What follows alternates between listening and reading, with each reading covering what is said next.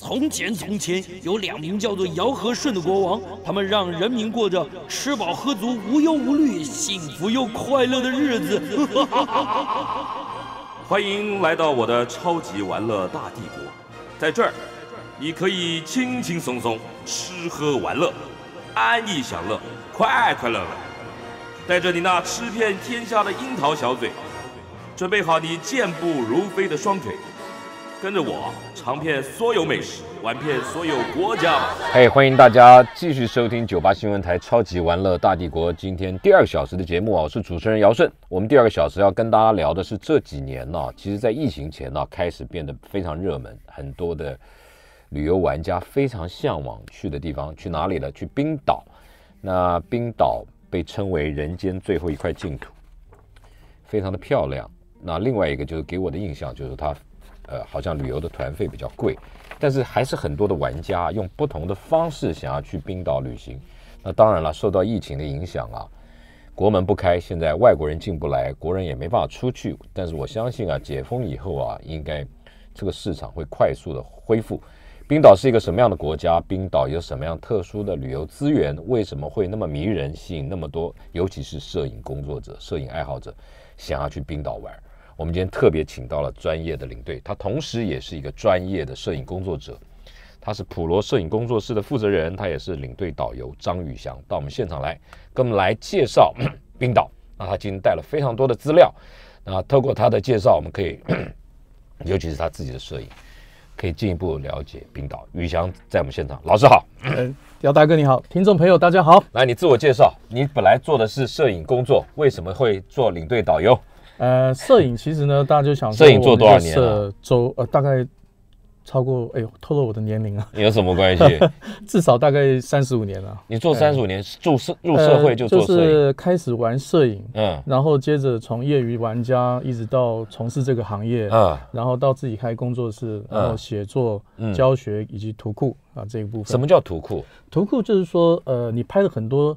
具有商业价值的东西，哦，或者是说值得留念的东西，或者说适合摆设的，哦，那这些东西放在 Image Bank 里面，大家可以就是说，呃，购买，就购买，购买它的权利啊，这样子。那你，那你最多图库里面最多的是哪一个类型的照片？风景，呃，应该是这样讲。早期哈，大部分我都是拍商业摄影，所以说以人像，然后一些商业摄影人像，商业摄影的人像。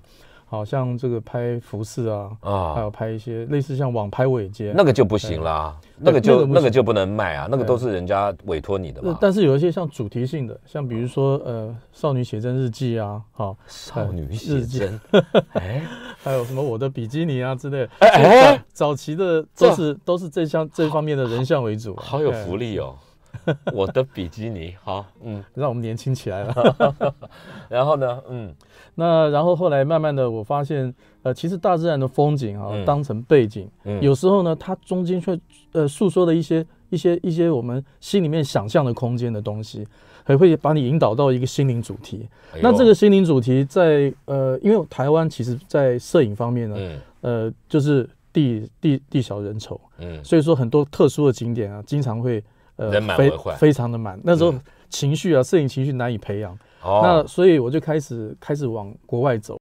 那刚开始刚开始就是走中国大陆，那后来呢？也是漂亮啊，也是很漂亮，但是也是一个问题，就是人也是人满为患。哎，有时候呃，像西湖边啊，比如说你要拍个夕阳，这个时候你架脚架，你会发现没办法，全部都是人，镜头里都是人。对，所以就让我想象说，有没有那样一个空间的地方哈，能够让我真正把心情沉淀下来。有有有有，好好的创作很多，还是很多啊。有南极啊，北极啊，那那这个背景实在太空旷，没没什么人，几只企鹅后来出来跳一 跳。没没没有，你看那个北极熊抓鲑鱼，那个那个画面多棒，对不对？加加拿大还有那个对不对？阿拉斯加了，阿拉斯加对对不对？还是很多那种画面啊。是这种地方还是有啦，有。嗯，对，嗯，所以说我就想这个念头啊，就是说我想说，那就考一个领队跟导游，嗯，那主要是这个国外就是领队嘛，两个都考考了，哎，两个都考哦。那你觉得哪一个比较难？导游的话，哎，导游会比较难，因为导游你必须要跟国外的人士来台湾的朋友们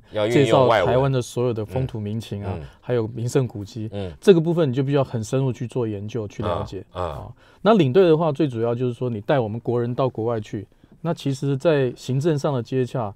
还有就是行程的安排，嗯，还有再过来就是说，呃，我们的行程都很特别，嗯，因为我不是喜欢摄影嘛，嗯，所以在像类似像今天我们谈主题这个冰岛这个部分，它就必须一个交通工具，嗯，那交通工具的话，你要载大家，你本身就具备非常专业的驾驶，嗯，所以说我到目前为止，我已经考到这个就是职业大客车，你你还去考外国的？啊呃，在外国你有国际驾照啊，它是 C 的等级的，可是你不能开，你做 Drive Guide 啊？哦。我们是自己雇，自己自己开车，所以说不是在当地接是没有问题的。哎呦，对，像纽西兰跟这个冰岛，嗯，他十五人坐的车子的话，比如说我们坐，你自己开，哎，我自己，你自己带，在我们自己的 team。哎呦，对，哎，那不是压力很大？是这个呃还好啦，这个就是专业就看在这里了。真的，哎呦，自己开自己解说，对不对？行程的掌握、设计，嗯，还有随呃，像有些固定的有些地方，因为。最主要是我们不是当地的司机，当地的司机要有时候我们在沟通上，像我们临时想要停一个什么地方的话啊，不行，大家沟通会比较有点困扰。好，那这个时候如果说我们自己都是自己人嘛，也许台湾一些摄影的朋友啊，台湾摄影爱好的一些玩家，啊，我们讲好，甚至大家会都都已经做好功课了。对，我要出发之前，他们给我一个 list。嗯，啊，有些地方，哎，甚至我都不太知道。他说，哎，有一个教堂前面完全是鲁冰花，全部是紫色鲁冰花。啊，我说，哎。哎，我说我就想，哎，这个地方我经常经过，都没有都没有弯进去。哎，冰岛，冰岛，哎，冰岛也有鲁冰花。OK，哎，这个冰岛特殊的生态。啊，所以这个这就是你的你带的团的特色了。对，就是说为什么我会从静态摄影一直开始走到国外去拍摄，甚至说呃，大家就说，哎，那你带这些团出去，你到底为了什么？刚开始也就正如这个我们今天先前所聊的，也许是我自己想去这个地方，但是后来我去了一次两次之后，经验累积之后，我发现我可以帮助很多人去完成梦想，所以就是变成我生活的目的了。所以我觉得这很有意义。嗯，就带着大家去，是很棒。来，给我们来介绍一下冰岛。好，嗯，呃，冰岛，我想说今天一个主题就是人间最后一块净土。对，好，对。那为什么说它是净土呢？其实，呃，除了它。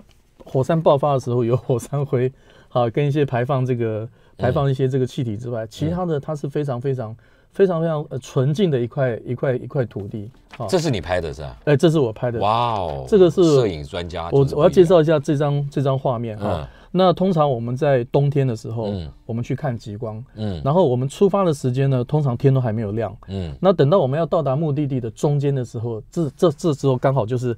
是早上的晨曦出来的时候。啊，所以说我们觉得整片的红色，然后刚好有这个很孤寂的一一台这个越野车开过来啊，我们就顺便的把它记录下来啊，是这样。子，而且好有层次这个地方，那个是美工做的。啊，这是美工做的，我以为是你。哦，不过也可以这样讲，因为前面有阴影了，OK OK，好漂亮，嗯是嗯，来冰岛。好。那我想说，我们走在地球的尽头的感觉，嗯，然后呃，也可以享受一下孤寂的存在，嗯。那我们在呃，当我们都知道我们在都会中间很难享有自己个人的一个时空的的的一个的一个，就是自己的那个自己的空间。但是我们到冰岛这种地方，我脚踩在冰岛的这种熔岩的土地上面的时候，我突然感觉到啊，这种孤寂的存在是我一种幸福。所以说，这这样的一个感觉让我有一个沉淀的感觉。我我发现。其实我在天地天地天地人的中间呢，我找到一个均衡点，我能够在这个地方放松自己。啊。所以冰岛呃，因为它只有三十四万人，那它的土地呢是台湾的二点八倍，嗯，那所以说它会有这样的空间，嗯，再加上它特殊的地理跟的地理位置，好，那呃这一张的话就是我们通常会玩冰岛的人，嗯，我们早期都是。北欧五国几国这样子，对，每个地方呢，呃，就是说沾一下酱油，对。那这样的话，对我们来讲，其实我们现在的人的感想啊，就是说，现代人第一个，我们的知识已经非常非常从网络上各方面很容易跟以前不太一样。那再过来，我们现在现在的语文能力啊也相当的好，所以说我们会希望更深入去了解这个地方。所以说我们在冰岛最适合的这一圈，哦，这一大圈的就是环冰岛一圈，是在我们在夏季跟春季的时候最适合。我觉得。最建议大家能够玩的部分，当然了，冬天不行嘛，永昼永夜的，对不对？冬天其实，呃，我们最主要是看极光，啊，看冰冻，冰冻也只有在冬冬天才有。OK。那我们曾经有一次走到东北部去，因为冰岛它的气候是暖，就是海洋的暖流跟冷流中间交汇，所以它天气变化的非常剧烈。有时候呢，突然来一个风暴，然后我们如果是在东北边的话，那种那种很大的那个风雪。哇，我们那个时候开车真的，我们回到我们的这个饭店的时候，我们真的恍如隔世啊，我都不晓得我怎么开回来，活下来的 感觉，活下来了。OK，这个嘞，这个是我们在呃沿途中间。我们可以看到冰岛的生态哦，最主要就是冰岛马。OK，这个是在冬天大概零下二十度左右。那这些冰岛马它非常耐寒啊。那它从这个呃欧洲大陆到就是带到冰岛，大概也超过一千年了。所以他们慢慢演化出他们自己耐劳抗寒。我前几天看到一个国际新闻，就是在讲冰岛的马。嗯嗯嗯，对，说说他们就是您老师讲的这个，他们非常耐，而且他们个头不高。个头不高，个头不高，然后负负重能力很强，是对不对？没错，所以他们不是跑快的，他们是交通运输用的，很适合。而且还有一个很重要的特色，跟听众朋友分享一下：冰岛马的马背比较平，这个乘客坐在上面呢，比较不会颠簸。是，哎，是很厉害的哦。嗯，OK，来继续介绍。那冰岛马呢？其实，呃，我们在路边经常都可以看得到。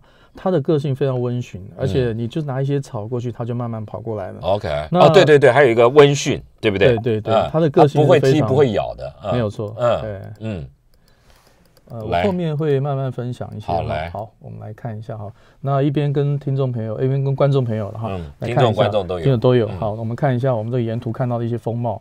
那呃，经常在冬季的时候呢，我们看到的是这种浩瀚的这种整个铺陈出来的这种银色世界。然后呢，呃，在这一个整圈呢，其实中间也有不少的景点。这是黑白了，这个照片还是这个这个其实现场就是这样，只有两种颜色的感觉。哇哦，呃，因为很有意境，草木不生了哈。这就是刚才我们那个呃姚姚大哥列的这一张哈，这张照片。对，那每一个地方都有特别哈。那这个看我们进入春季了哈，进入春季整个感觉就不一样了。嗯，这个是在峡湾的制高点啊，冰岛的峡湾，对峡湾东东峡湾的制高点。这边要特别介绍一下，我要分享给听众。等一下，我们进一段广告，待会回来啊。这张图它背后代表的意义，嗯，是。来，我们继续跟这个普罗摄影公司工作室的负责人，还有资深的领队导游张宇翔聊这个冰岛。他带的团跟别人不一样，他自己开车做 drive guide，然后自己规划行程，然后。甚至可以克制化，客人想要自己找到资料，想去什么样特别的地方，他都可以专程带客人去。那现在我们就聊到了这这张图，嗯，冰岛的这张。呃，我各位可以看到很多红色的哈，对，这个就是代表说这条路在任何状况、任何车辆都不能走。好，那啊，对，他就告诉你不能动，不能去。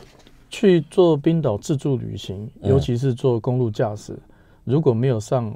R O A D road 点 I S 这个网站去了解最新的路况的话，就代表你几乎是在盲目的在不了解这种对对。太危险了，这样对，就走在冰岛这种气候多变的地方。哦，那这张图呢，其实就是我截至于我就是去呃二零一九年的时候年底那个时候的冰岛，当时呢所有的来一个大的风暴，嗯，那我们是在雷克雅未克，然后当时整个是东北边跟东边东东北边。好，甚至西北边这边全部呢都是所有的道路都不能走，哎，那会造成什么情形？就是说我们在冰岛旅游，你随时要有预备案，比如说你在指定的时间，因为气候的关系没有办法到达你下一个住宿点，你必须提前去联系。那呃，有的大部分他们很友善的会会 OK 退给你，嗯，或者是说着收部分的手续费，嗯，好。那但是如果你完全都不联络的话，他就不理你了，扣钱了。对，所以这个部分在我们联系的时候呢，呃，一张冰岛的 SIM 卡是非常非常重要的。OK，那很多人都会到冰岛去说，我们第一个开车驾驶，那同时呢，通讯联络也是很重要。嗯，会在买国际漫游啊，其实那都不管用。嗯，呃，也不是说不管用，就是在地的最他很麻烦，他到那边去，他要跨漫游，还要取得一些一些通信协议啊等等之类的。我们直接在雷克雅维克机场。出来之后，右边有个超市，嗯，对，也不贵，嗯，然后你可以买流量多一点，甚至有免费通话通话的，嗯，好，那然后装在我们的呃一直备用的手机，或者现在有很多手机它有双卡，对，那就其中可以用，那这个时候我们就可以随时上网去了解，嗯，好，去了解现在的这个所有的这个路况，嗯嗯，好，那呃像这样的红色的这种道路这这种这种情形的话呢，就是你不能上路。嗯，第一个你上路的话，万一车子有损伤什么，租车公司它是不理你的，不理的，不理赔的。好，那第二个部分就是说，那如果你上路发生任任何的危险的话，你反而会耗费更多的资本。为什么？因为因为这个部分去冰岛，甚至呃，我们一个车子哈，在冰岛最长就是在冬季打瞌睡，然后车子就滑到边坡下，哎呦，这么危险，拉上来就是两万起跳，哎呦，两万台币起跳。啊。啊，冰岛的汇率呃。一台币超对四点四，呃呃克朗，他们叫克朗哈，嗯，所以台币，台币哎对，嗯，台币就就相当于我们人民币对台币啊，这样这样差不多的这个感觉，嗯嗯嗯。讲到这个钱哦，插一个话，那今天我特别带了一个冰岛的的 lucky coin，OK，它是一百克朗，啊，然后给其中一位幸运的这个听众，哎呦，好，那就是说到时候就直接。上到我们的这个呃六十九八的的 Facebook 粉丝团啊，对，那这个就是冰岛的克朗啊，那上面呢，呃，可能要拿出来给大家看，鱼啊，有一只鱼，嗯，好，那这一只鱼呢叫做，这等于台币多少钱？海参斑鱼，这台币多少钱？二十块，二十几块啊，对，二十二十。海参斑鱼，对啊，来，嗯，杨大哥看一下这个上面一百克朗，啊，这是一个很特别的鱼，嗯。如果能够在餐厅里面吃到这只鱼的话，你会非常的幸福，因为它会带给你健康，带给你快乐。什么什么？那我就去专门点这只鱼就好了嘛？还要？问题是它不是经常有的，因为这种鱼呢，它第一个它有季节性，那第二个呢，它的产量不多，它每年只涨涨涨一点点，叫做海参斑鱼。海参斑鱼，OK，海参斑鱼，哦你要怎么送给我们的听众？呃呃，这样子，我们就在呃，请听众朋友或是观众朋友在上我们的呃 Facebook 粉丝团，嗯，啊，上面呢，小编会发布一些呃，就是说题目。问题哦，你要答对就给你，是是，好，嗯，谢谢，卖个关子，谢谢谢谢。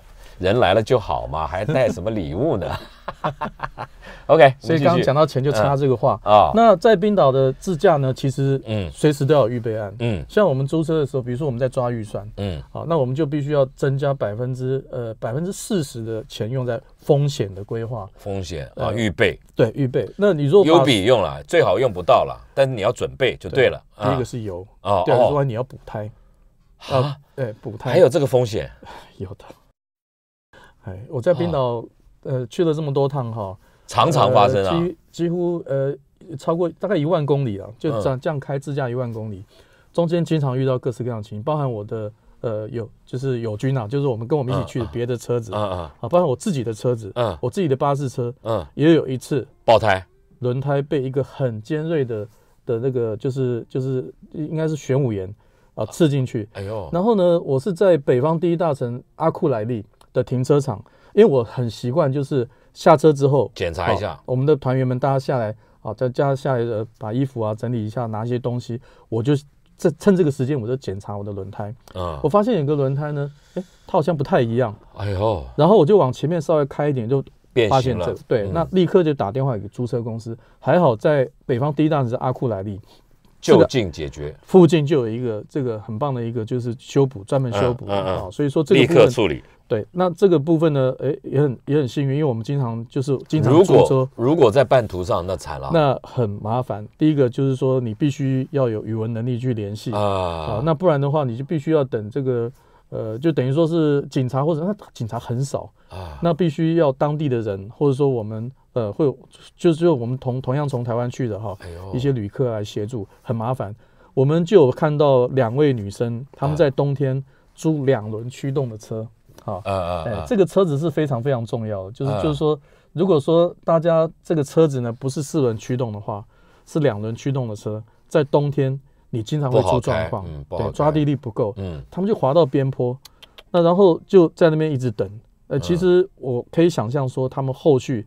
第一个行程会受影响，整个都变了嘛，啊，对，所以说这个部分就是说，大家都觉得冰岛很贵，那冰岛很贵，要什么样的方式来去让它变成一个很安全，然后呃安全又经济实惠，嗯，好，这个就是我们一个折中点的抓，嗯嗯，有时候该花钱的时候还是要抓，像四轮驱动的车，嗯嗯，真的是有必要要租，是这样子，嗯，OK OK，然后再来。呃，在冬季的时候呢，我们要看极光，其实也要考虑到冰岛的一个风雪。嗯，所以说这一张照片呢，其实是我们一个一个团员一个大姐。那那天那天早上，对一个大姐喜欢摄影的大姐，很厉害哦。呃，但她她这个摄影摄影是资历也很很深。嗯。那然后那天早上呢，我们吃完早餐了，好，我就先出来，大家整理行李。那我出来第一件事情呢，就是把雪挖开来，让我的车子能够开出得来。对。然后呢，再过来就是把我的这个呃雨刷、这个挡风玻璃啊擦一擦啊。所以说，在在这个国外，在做自驾的人，其实做一个驾驶或者是预备驾驶，你最重点的事情，其实就是在你的车子行车的前、好升中跟之后，嗯，来做好一些这些这些预防啊、准备啊，还有一些这个出发前的这个工作，嗯这样子。嗯嗯嗯。好，我们呃一般来讲，我们公路自助旅行呢，其实如果不开车，嗯，可不可以去冰岛？当然可以啊，对，因为冰岛它有很方便的一个就是长途巴士啊，它有这个观光巴士啊，甚至还有说我们可以到中间 Highland 部分它的一个巨轮巴士啊，巨轮巨轮巴士它可以去的景点呢，一般是我们在 不管是你走 Golden Circle 黄金圈嘛，嗯，去去去这个冰岛大部分都是，比如说你只有待两天一夜的话，就去黄金圈。怎么会只去两天一夜？深度旅行怎么？就是我刚所讲的。北欧五国啊，那种几国，哎，那种的话就是专门适合比较，就是对对对对，到此一游，就是蜻蜓点水。看一下啊，收收集一下护照，护照上的印章，嗯，好，那呃还有呢，就是说像我们就是说呃这几个人包车的部分啊，那还有呢就是说呃像有些民宿，它其实是你可以跟他讲好，嗯，大概我们的呃旅游巴士到哪里，嗯，他可以来接你，OK，然后接着你。比如说你在那边 stay 三天两夜，嗯，那就是你跟直接跟他 booking 他的车子，他可以带你到附近的景点去玩。啊，用他的，对，这也是一个方式。这样的话，你节省是就是说，第一个你车子油料闲置的时间啊，对，虽然说是你请他，诶，大家都很喜欢在国外跟台湾比，其实也不用这样比，嗯，在当地这样来讲的话，对你来说是最经济的，而且也安全啊，最主要是他们熟嘛，嗯，对啊，嗯。去冰岛真的不要觉得贵了，因为我们经常看到太空人在冰岛的上面在走哎，因为很多世界各大的那个电影啊什么之类的哈，都在那里都在那边拍。有时候我们在这边拍照，然后这边都是熔岩区嘛，他就假装那里是太空人在走，穿着太空装在这边。他在演就对了。对，所以我们到这个地方来的话，我们要把心情想啊，我们是在一个外面的星球，是在一个寂寞的星球上面。OK，哎，这个时候你就不会觉得贵了。OK，哦，好。好，那呃，就是说公路的自助行这个部分哈，那我想说，呃，相关的资讯呢，其实大家都可以从冰岛所有的旅游上面的这个交通网站上面预先去 booking。OK，当然也是越早 booking 越 OK。好，那当然特别要注意一下，它它是有一个 deadline，就是说你最后什么，如果你要取消的话，这个也要特别注意。对，好，嗯，呃，这边当然也是要，呃，所有的，比如说你要自助行的话，你的住宿。这是要预先预先要要要坚定的，对。那像呃 Booking.com 啊等等之类的，很多的部分，呃，冰岛的其实它的住宿，你说我们要住五星级、四星级的，那个都是集中在大都会区才有，而且也没有必要住在那边。风景区就少。通常我们在那边玩的时间都不够的，回去之后呃睡个觉，睡一觉，早上就马上要出来要继续继续继续旅游。对对对，所以干净还好，他们所有的不管是都很干净。干净，而他的床垫特别舒服，还是我特别累哦？可是我 特别累的关系，所以那个床垫永远是觉得比家里的要舒适。啊，北欧的家具本来就很厉害啊，北欧的家具对不对？本来是设计感啊、舒适感啊，而他们就极简嘛，然后但是很舒服，很舒服，对进去之后很放松。OK，嗯，睡一个小时等于三个小时。所以你给我们的建议是说，如果要自助旅行，订冰岛的旅宿。就是不一定要非找那种什么五星级超奢华的，只要方便、舒适、干净最重要。还有一个重点，离景点要近。当然，当然，尤其是我们在看极光，像比如说我们去斯奈山半岛，就是所谓的这个教会山。我们经常看到一个照片，后面有个前面是小瀑布，那后面是一个像草帽一样，然后又称为草帽山。嗯，好，那呃，那这个这样的地方的景点呢，如果说我们要想要在它这边拍极光的话，嗯，那是不是必须要离我们住宿点就要很近？越近越好。那越近的地方，即使它只是一个宾馆，也是贵，只是一个家庭的饭店啊，家庭的这个旅社，嗯，它都很抢手，也是贵嘛。对，所以说为什么我讲说所有的旅游，嗯。所有的冰岛旅游，呃，像比如说，呃，将来我们能够再去的时候，嗯，你一定要很提前半年以上，会比较便宜，对，去订才会有房间，就是计划旅游了，对，计划旅游，嗯，然后订了之后呢，还有一个就是你要特别注意它价格的变动，啊，突然出现比较便宜的价格之后，赶快进，先订便宜的，再把原先的房间放掉，哦，这样你又可以省很多，哦，比如说你住，所以你随时要随时要关切。哎，对，就是过一阵子就关切。其实这这个就是说，你大概过个一两个月，看一下，嗯，好，那有时候它甚至会有一个呃最后的一个 final price，嗯，然后这个时候对 last minute，然后这个时候只剩下几间，哎，这个时候你也可以稍微稍微可以去去去去抢一下，嗯嗯，好，所以怎么把我们这个 bug 给抓到最最 OK，嗯，这也是在冰岛一个就是大家尤其我们一些。一些粉领族啊，一些上班白领白领阶层的人要去玩的话，通常都是一年省下来的假期跟跟预算去玩。对对，这个时候这个就很重要。很重要。对对对，所以机票、住宿、机票、住宿还有交通。交通对交通的话，呃，比如说我们是呃，我们是四个 lady，嗯，然后我们四个 lady 呢，我们不想开车，嗯，我们也不觉得那个开车会对我们带来一些风险，那我们就可以按照我刚刚所讲的一个方式，用。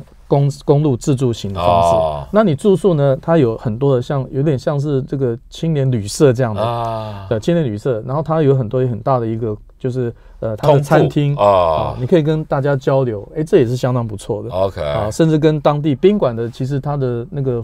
他的那个 front desk reception，他们都会帮你说，哎，当地人他有车子，我想雇佣你的车去哪里哪里玩，他会介绍给对，所以这是也是一个很棒的一个方式。帮你好，我们再进一段广告带回来啊，我们就来看看冰岛的特殊的风景景区景点。嗯，来回到超级玩乐大帝国的节目现场，再继续跟张宇翔普罗摄影工作室负责人还有领队导游张宇翔聊冰岛之前，我这里插一段口播。赏屋的讯息啊，那么最近如果有朋友要想要购物换屋啊的听众朋友，提供你一则这个新的赏屋讯息啊，由雅兴建设新润双品牌推出的 SC 钢骨纯住宅，叫做晴天森林，它在南港，周边有双公园、百货、近南港车站以及台北流行音乐中心等等。有兴趣的朋友、听众朋友或观众朋友可以上网搜寻，它叫做晴天森林。或是拨打赏屋专线二七八九一一二二零二二七八九一一二二，南港最近非常的红，那附近啊，台北流行音乐中心整条动线非常的特别，早一点抢进啊，我觉得是比较好的。我们继续回来跟张宇翔聊冰岛。好，我们跟各位听众介绍了公路的驾驶，嗯，啊，还有公路的一些旅游巴士，那其中有 Highland 的巴士，能够去哪些地方呢？嗯。呃，我们都知道冰岛的地形，它中间是整个冰帽。嗯，那在这个冰帽的附近呢，尤其是在春季的时候呢，它有一个地方叫做彩色火山。彩色火山，对，因为它的冰岛文的译名啊，其实它的意思就是类似像彩色火山这样子。嗯嗯。那那个呃景致非常漂亮，它就是一层一层的。好，然后这个特特特别的这个瀑布啊等等，嗯嗯，那就是要坐巨轮巴士，巨轮巴士，对，巨轮巴士就高高的，很高，大的轮子甚至比我们一个人还要那要还要大，对，非常非常大。这个在加拿大也有了，就是那个 Lex Louis，嗯，那就是哥伦比比亚冰原上，就专门走冰原的这种车，对，嗯，是很高，嗯，OK，好，那以上是讲这个有关于这个冰岛的一些。这个概况就是我们是交通的部分，嗯，好，那接下来我们看看冰岛的生态，嗯，那冰岛其实它有很多各式各样不同的生态，包含它的水下面的鱼类啊，嗯，啊，甚至海豹啊，嗯，好，那水上面的一些鸟类啊，嗯，好，这这些这些部分其实都是我们呃去冰岛在季节性上面我们可以接触到的，嗯，还有就是我们在料理部分呢，我们一定要尝一下冰岛在地的，他们叫做特色美食，Catch of the Day。但很多餐厅呢，它就是当日的料理，OK，它当天补了什么东西啊，他就给你吃，OK，啊，所以这个就是很很特别的。当天会补什么啦？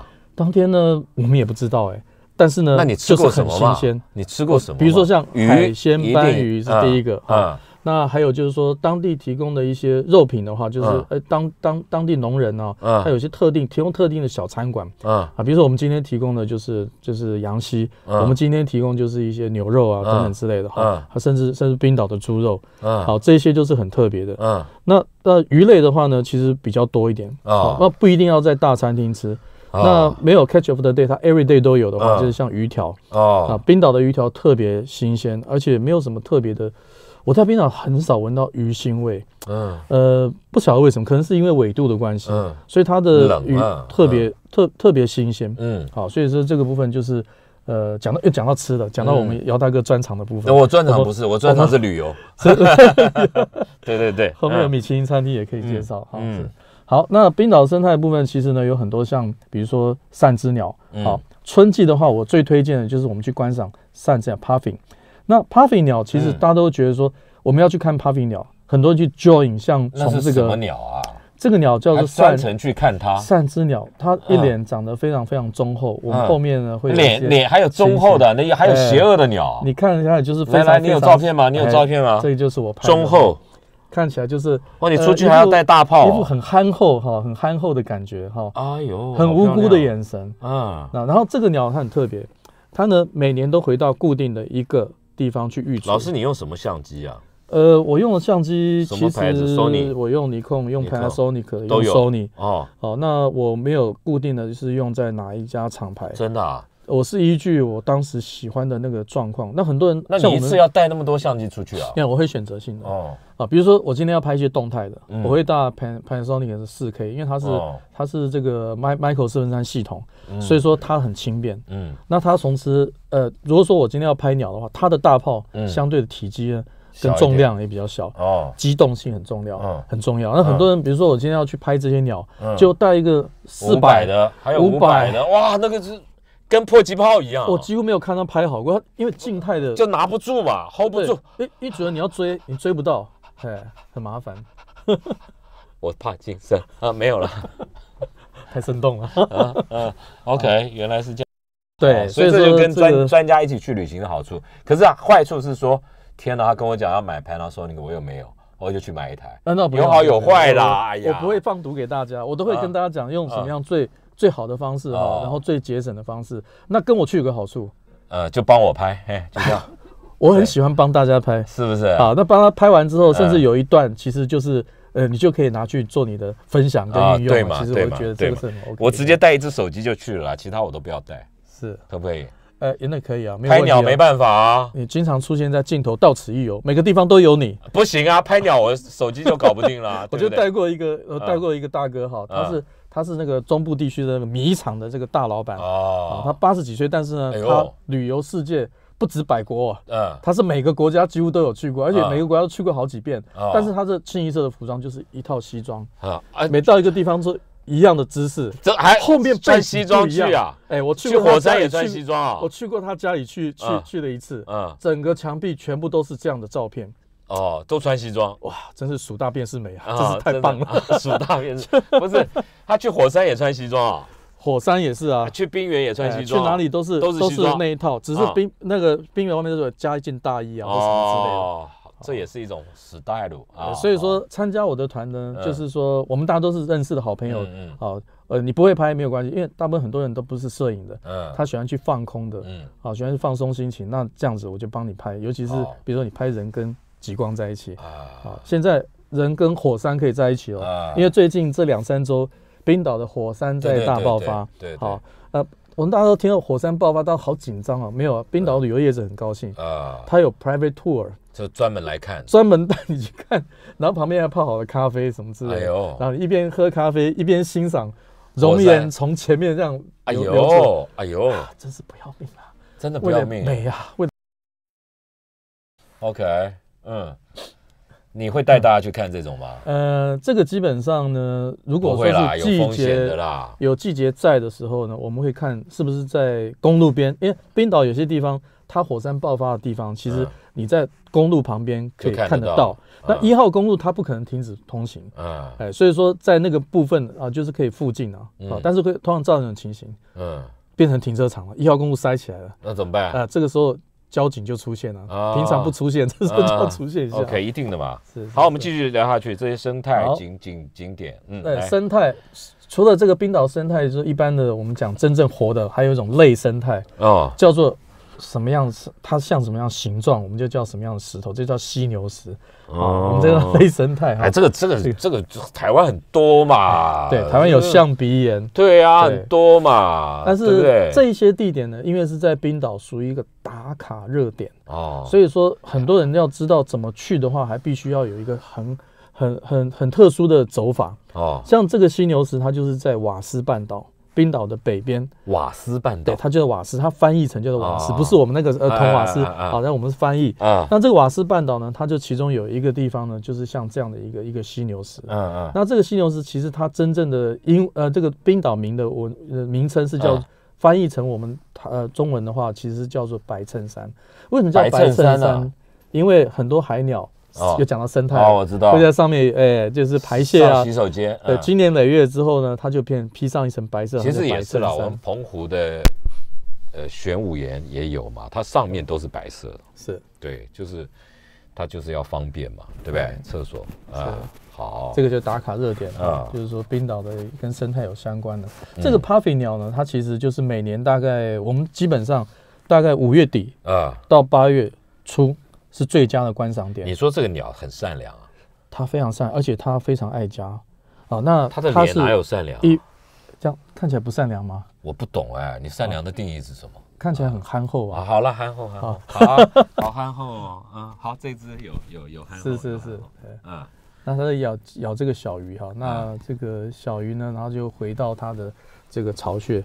它的巢穴每年都是一样的。嗯。好，那这一夫一妻，如果说是两个都。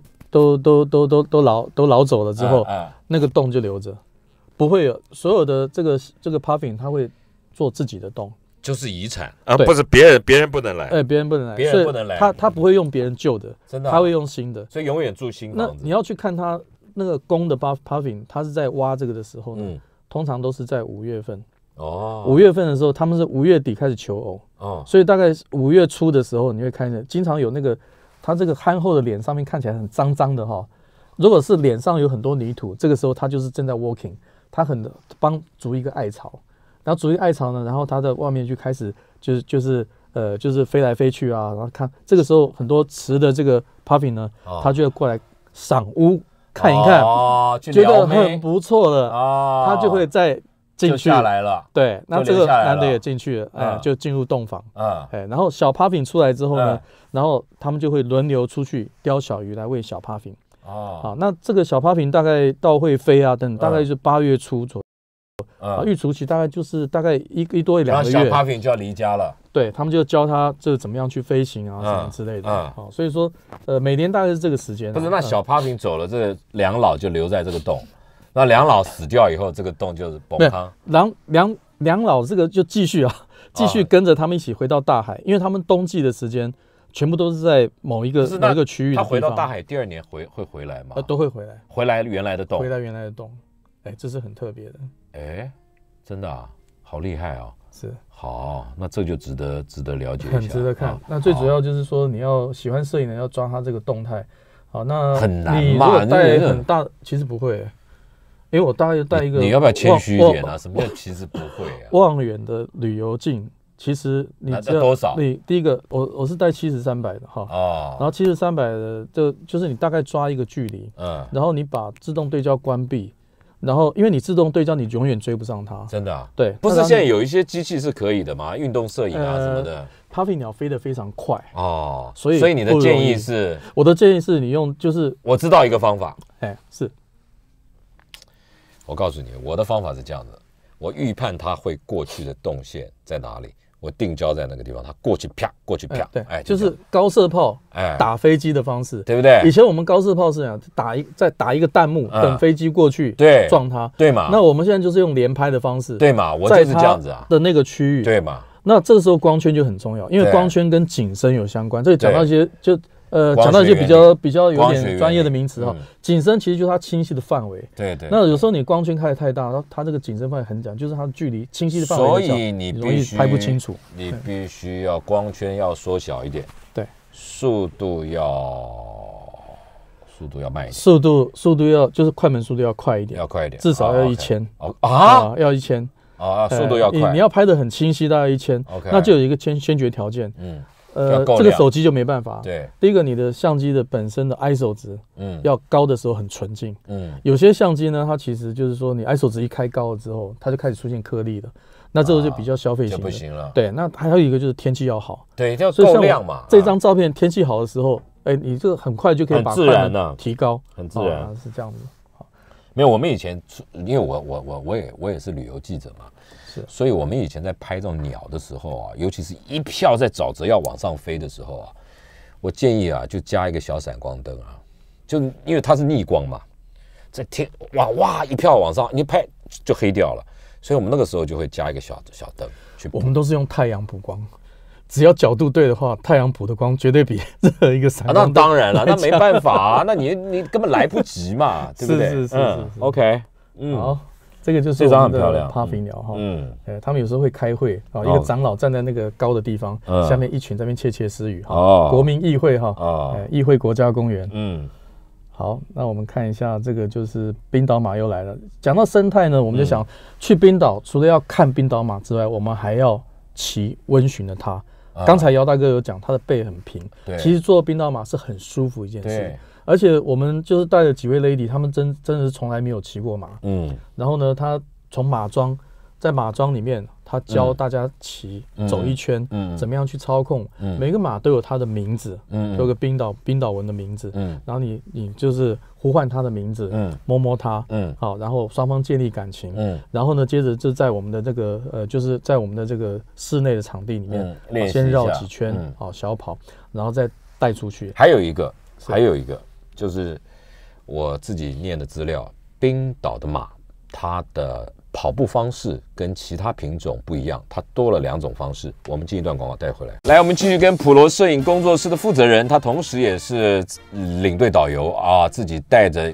专业带着大家一起去世界各国啊，去看漂亮的风景。同时呢，他也考，他有好多证照，他同时也考有这种国际的这种职业车的驾照等等啊，他可以做 drive guide 带着大家去玩。我觉得这样好处是，好处是这个行所欲行，停所欲停，就是你想到哪里，这里停久一点就停久一点，这里快点走就快点走，临时想要去哪里吃东西就去哪里吃东西。那我觉得这样是很方便的，因为外国的游览车啊，他们又有工会，又有这个啰里吧嗦的、很多事情啊，不方便啊。那现在这个宇翔宇翔老师他自己这样做，而且他懂摄影，你看要拍照。那其实对我来讲是不用他教我，就是把相机拿开，你帮我拍就好，对不对？好不好？好，这样的我们继续讲冰岛还有什么好玩的啊？是讲到冰岛的话，嗯其实冰岛的特色呢，还有一个就是冰岛的瀑布。哦，因为冰岛有很多这个，就是它的这个溶池冰冰川溶池的这个地形啊等等，嗯所以高低起伏，再加上它是一个火山的一个地形，嗯呃，所以说这个各式各样不同形态的瀑布，是我们去冰岛来的必玩的部分哈。嗯，那必看，哎，必看嗯。好，那有十大瀑布，哎呀，这么多这边有列出来。啊那但是大家有很多瀑布呢，你想说我一次全部走完，嗯那你可能至少要待个十天以上才有可能啊，因为有一些瀑布它是不容易进去的。哎呦，好，我们像讲一个比方啦，比如说像代提瀑布，有没有没有照片？照片照呃片，代替代替代提瀑布？我们不是有看有一部电影哈，在叫那个什么普呃普罗普罗是什么？突然突然忘记了，没关系没关系，对，就有一部有一部片子啦嗯。啊，那个呃，他就是在一个巨人，嗯嗯，然后他喝了一个一罐把自己融化掉的人类的地球生态的起源，哦，然后把自己的这个所有的细胞都融化之后，哎呦，到水里面就变成微生物，变成鱼啊等，慢慢演化成我们今今天所有的人类。这个一一开始啊哈，嗯那个就是这样的一个场景，它就是在代嗯代替瀑布啊，嗯啊这个就是代替瀑布。哇哦，好，哇，好壮对观，刚刚这个代替瀑布哈。嗯，这么多瀑布这个是各式各样的瀑布，呃，大家看，这个这个这个是秘境瀑布，这个蓝色瀑布，嗯它有点像是牛奶牛奶蓝的颜色。哦，好，那这个呃以前呢是比较容易进去，大概大概走三十分钟就可以，现在可能不止了，为什么现在要走一个半小时。为什？么？原来的地方的入口那是私人土地，后来呢他就弄一个闸门啊，他不让人家擅自进去，因为太多的呃各国游客进去之后，把里面环境弄得很差。嗯。那我们就必须另外走一条路，就是从那个呃呃有一个有一个公有的一块地的停车场，嗯，沿着河边这样慢慢走进去。哎呦，哦、那个那个有时候真的不是路的路啊，哎，所以说这个地方要去的话，也是要专人带啊，去过的人、熟悉的人带才行啊。这个蓝色瀑布，嗯，啊，那像这个是一个，这个都是秘境的，对不对？这个这个都是必必去啊，因为你去一趟啊，因为你去一趟的是我在冰岛，我花很多钱在住跟吃，可是你玩的地点能够能够去跟人家去介绍的地方、嗯。分享的地方很少，啊，这个你再便宜的话，就白去了我觉得你就白去了哎浪费嗯一次，对，你你可能这辈子只次去一次冰岛，嗯。像这个也是一个秘境瀑布，嗯嗯。好，这个是在那个呃这个斯里兰瀑布的后面的一个嗯，地方，这这瀑布是那个负离子特别多的地方嘛，特别多？对不对？你进进进去一趟出来之后，啊，很多充满能量，很多病都留在里面了，出来之后恍如隔世啊，呃怎么得到了新生。那他们上一团有八十几个人把病都留在那里了，我现在去就就就叫阿内甘赫对不对？它直接负离子直接融化掉，哦，OK，变漂亮了。这个就是哇带带提瀑布哈。你很坏哎，你你把瀑布拍得像拉面一样，你看像不像啊？然后然后你这个教大家嘛，这是什么慢慢慢速，对不对？再用脚架。啊，对，其实我们带脚架去的目的呢，就是把天哪！我要去旅游还要带脚架，你对不对啊啊？摄影的人，我跟你讲，真的，我就碰到有人，他把家里防潮箱的东西全部背出来，然后我就跟他讲说，大姐，呃女生啊，对他很投入摄影，他非常执着在摄影。啊，他说我上次旅游就是少带了一颗镜头，所以他把所有的东西全部背出来。嗯结果后来他脚扭伤了，啊，就就就是你帮忙就我，倒霉。对啊，就是你背嘛，对还有我还是热心的服务，没关系，你就拉。车子嘛。现在有摄影箱有四轮的啊，呃，这又是一个问题，哎又有问题了。我们那一趟去欧洲，一个另外之前上节目有介绍过的，嗯呃，那个那个克罗埃西亚，嗯克罗埃西亚地形是石灰岩地形，嗯高高低低起伏。嗯它特别带了一个有轮子的过去，啊，对啊，几乎都派不上用场。为什啊么？没办法，你上去下去，所以还是要有你要要有带轮子再加背带的，哎，这样的。还是要够轻。哎，其实如果说照我讲的哈，嗯。我们出发之前都会先介绍你要带什么器材，啊。然后你有些不用的器材，嗯，你就你不要用不到的那个场景你用不到，你真的不需要带。真的不要带，哎，对对好吧对，哎好吧？好，这个又又扯到器材了哈。嗯。哎，好，那个再跟各位介绍一下，就是说，大家听众朋友就是有关于这个冰岛的 Ice Cave，嗯。这个也是一个很特别的地方，因为冰岛呢在冬季的时候，冰冻冰雪，冰冻，哎，在在冰冰冻，在在冬季的时候，夏季的时候水淹过去，冬季的时候呢结冰，然后呢水退掉了，退掉之后呢就会出现像这样的，OK，哎，中间它是一个有一个空间在，然后我们就可以在里面用超广角镜头啊拍出这种很梦幻的啊这样的一个，它色温很妙啊，刚刚那几张的色温都是蓝色的，对哎，全部都是很高的这个色温，嗯，没办法改哦，就很壮观了。，对，非常壮观。然后这、嗯这是一对呃这这对呃这对很呃很甜蜜的新人哦，嗯，刚好他这张照片我就呃帮他们捕，捉下来了。，对我就帮他们拍了很多照片。嗯啊，那嗯其中这是这一张，呃，就是他们在这个冰洞中间，就是蓝色冰洞，就是放闪，就是放闪嘛。这个地方别人没有了，只有你们蜜月才会有。是吧？对，所以这个时候这个价值就出现了。好，哦，就是就是别人没有这种经验。哎，上面一个洞，上面一个洞哎，有点像上帝之眼啊。啊，好漂亮哦。嗯，好，可惜没有办法穿结婚礼服。嘿对，其实冰岛其实就是很多的结婚新人，啊，还有冰岛很多摄影师，然然后他们呢也是专门帮这个新人来在地的哎在地的摄影师啊，对在地摄也是那他们也可以都有加百分之二十六的税金，哦，所以说还是我们新郎自己带着去拍，其实就可以。哦。哎，如果呃未来如果真的是有机会要再去一趟冰岛的话其实我也可以集结很多队的新人，然后呢，嗯对嘛我们对对，我们的一车，然后你看我们开十五人座的车，蜜月旅行之类的，对，蜜月旅行。pre honeymoon，你们哦先先先 honeymoon 先过，嗯，然后顺便能摄影，嗯全部都解决了。就一起婚纱摄影旅行，对，这时候嗯新娘如果会计算的话，一算一下，哎，这个对耶，这样子还哦这样这样子更有价值啊。哦，OK OK，这是什么地方？这个是雷克雅未克，嗯在雷克雅未克中间有一个湖。湖，对，这个湖泊中有一些政府的建筑，同时呢，在冬季的时候，因为这个底下有地热，在湖里面湖的周边啊，湖哦，的周边还有歌剧院啊，还有嗯美术馆之类的。嗯嗯，好然后它还有地热，这个地方就有地热，所以就很多的这个啊天鹅。嗯，天鹅这是什么地方？这啊，这又回刚刚那个。对，这个就是也是沿途看到。那这个地方要介绍的就是说，我们除了它的冰洞之外，因为冰洞都是在哪里附近？冰河湖附近。嗯，冰河湖的位置呢是在冰岛的这个冰帽啊，就是冰岛稍微靠南边的地方。嗯嗯。然后这个附近呢，就刚好是有一个很多大的冰原，还有湖，刚好中间还有一个出海口。嗯。所以说，在冬季的时候，水慢慢流出去的时候，冰洞就是在这个周围。OK。那我们在冬季的时候呢，会在这个地方会待个两天到三天。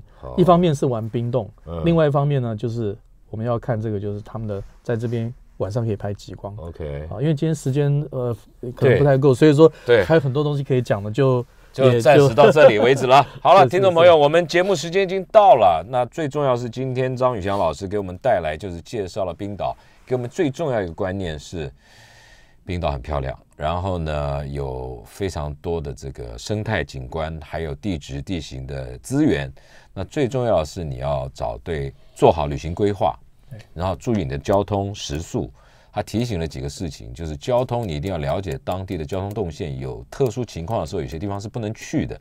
在食宿在住的地方呢，老师提醒我们，就不必非找那种昂贵不得了的，最重要是找离景点近的，然后干净的，就是一些这些基本的观念给给我们，对不对？还有交通，你的车子一定要用好的，最好是四轮传动的，那么比那个两轮传动安全的多，而且你。如果是自驾旅行的话，最好是天天都要检查这个车子，然后随时保持这个车况的良好。还有一个很重要的，到当地准备好，在当地买当地的 SIM 卡啊，电话 SIM 卡远比你在其他地方或者说你国际漫游要方便的多。就有些基本的观念先建立起来，然后呢，找对旅游专家带着你去旅行，这样子是比较比较丰盛圆满的。今天谢谢宇翔老师到我们现场来，下次有机会看看你。介绍哪里啊？拜拜，拜拜，拜拜。